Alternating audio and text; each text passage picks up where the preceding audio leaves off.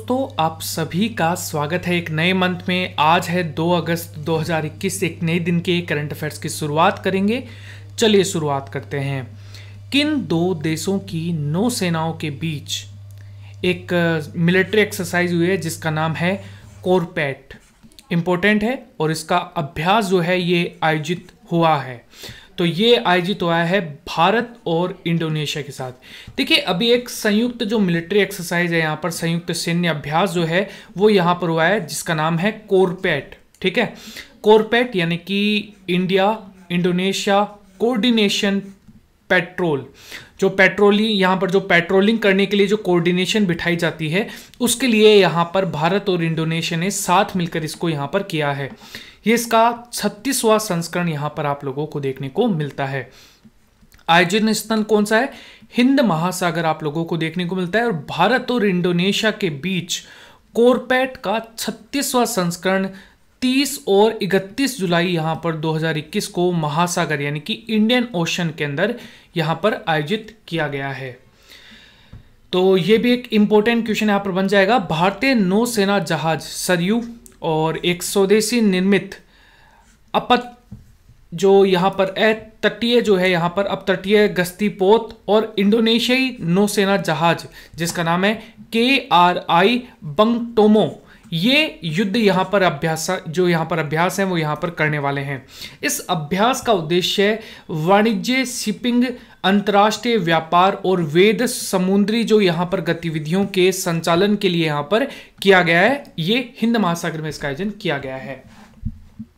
अगला क्वेश्चन है, महाराष्ट्र भूषण पुरस्कार 2021 से किसे सम्मानित किया गया है? इसका जो सही आंसर होगा, ये होगा ए आशा भोसले के द्वारा। तो आशा भोसले को यहाँ पर भारत की सरकार ने उन्हें 2000 में दादा साहेब फाल्के पुरस्कार 2000 और 8 2008 में पद्म भूषण यहाँ पर जो सम्मान है यहाँ पर, उससे भी यहाँ पर सम्मानित किया गया है।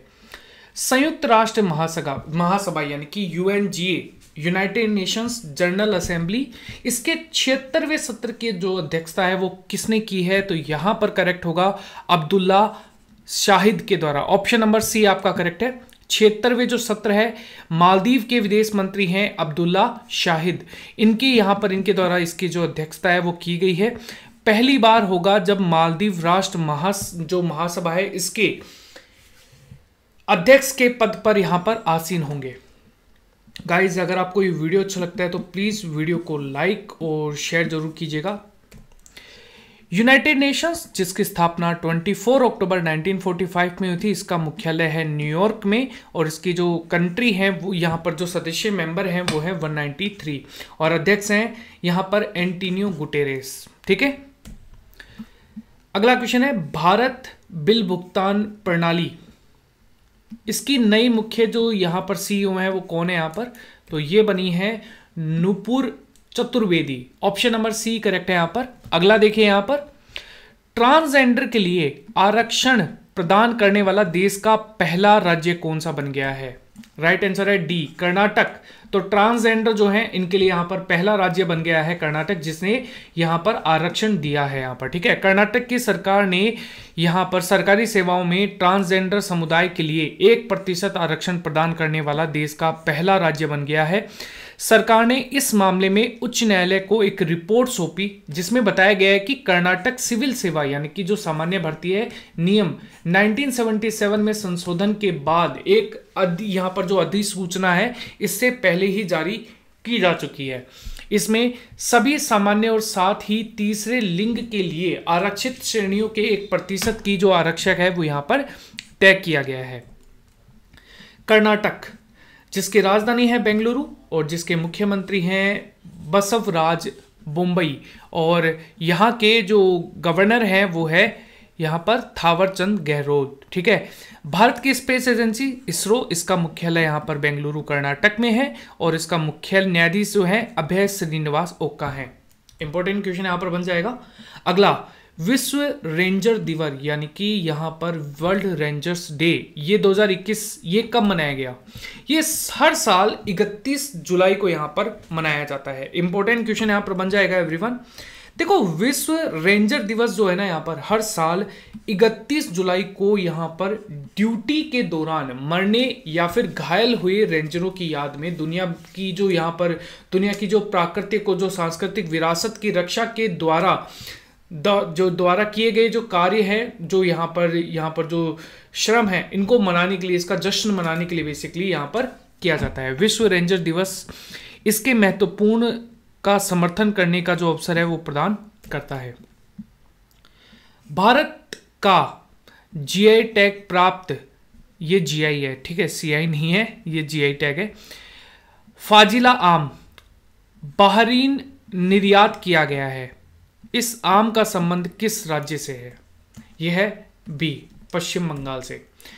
जीआई टैग सबसे पहले 2004 में दिया गया था, ठीक है, और ये दिया गया था दार्जिलिंग टी को। तो दार्जिलिंग टी आप सभी जानते हैं यहाँ पर। ये है वेस्ट बंगाल को, ठीक है? तो 2004 में सबसे पहला जीआई टैग यहाँ पर दिया गया था।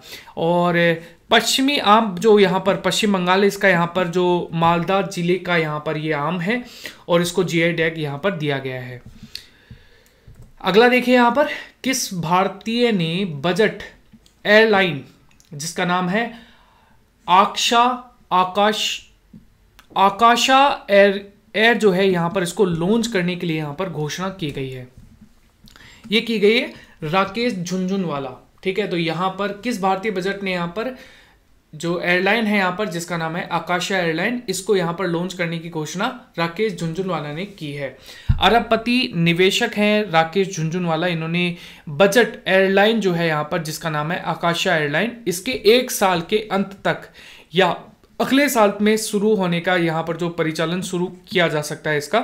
राकेश झुंझुनवाला की योजना, अगले चार साल में सत्तर एयरक्राफ्ट के साथ तीन पॉइंट पाँच करोड़ जो डॉलर है यहाँ पर, उसके निवेश की एक नई विमानन जो कंपनी है वो शुरू करने की घोषणा की है।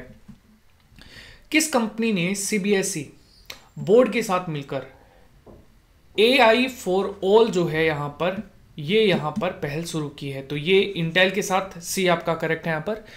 चिप बनाने वाली कंपनी है इंटेल इसके लिए ए आई फॉर ऑल यहाँ पर पहल का जो यहाँ पर शुरुआत है, वो यहाँ पर केंद्रीय माध्यमिक शिक्षा बोर्ड, यानी कि सीबीएसई e के साथ हाथ मिलाया इन्होंने। एआई यानी कि आर्टिफिशियल इंटेलिजेंस ठीक है? तो यहाँ पर ये इंपॉर्टेंट है। किस, राज्य की सरकार ने टोक्यो ओलंपिक्स 2020 में रजत पदक विजेता मीराबाई चानू को एएसपी यानी कि असिस्टेंट सुपरटेंडेंट ऑफ़ पुलिस नियुक्त किया है। तो ये मणिपुर की सरकार के द्वारा यहाँ पर नियुक्त किया गया है। सो so गाइज़ ये था आज का आपका वीडियो। चलिए आप ये बताइए कि मणिपुर के बारे में आप कितनी चीज़ें यहाँ पर जानते हैं। तो कमेंट सेक्शन में उसके बारे में रिप्लाई कीजिए। और अगर आपको ये वीडियो अच्छा लगता है तो प्लीज़ वीडियो को 500 लाइक का जो टारगेट है हमारा, उसको पूरा करने में हमारी हेल्प कीजिए।